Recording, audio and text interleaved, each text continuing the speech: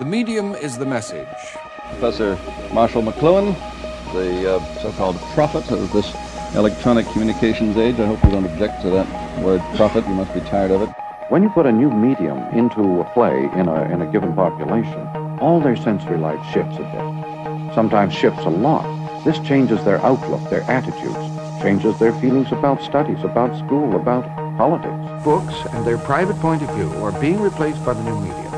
The written word may uh, diminish its role, but dialogue and exchange, rubbing of mind against mind, that becomes very basic. People will be drawn into it as participants, whereas they're merely uh, viewing themselves as spectators at the moment. Of course, the trouble is we act as though we were still solely in the age of the book. Many people are offended by this kind of thing because they can't classify it. They can't uh, fit it into any little niche or category. It forces the spectator to become co-maker. You have to get into the act of making, not of classifying. People have lived through centuries of detachment, of non-involvement. Suddenly they're involved.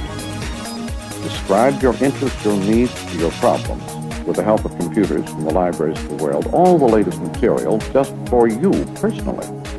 This is the pattern I think that education will tend to resort to more and more. It's already happening. The kind of exchanges and interchanges of imagery and awareness of peoples of the world. A huge mosaic has been created, which is in effect a kind of x-ray of world cultures.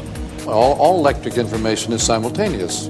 This all at onceness uh, just wipes out the old distances and times between age groups and ethnic groups. What happens with, uh, uh, under those conditions is an enormous increase of dialogue.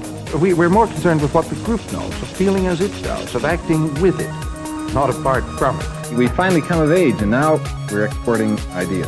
This is where we're heading under electronic information conditions. Products increasingly are becoming services.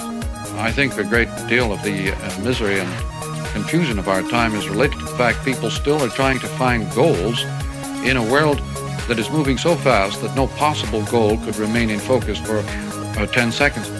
Life can only be understood backwards, but it must be lived forwards. The medium is the message.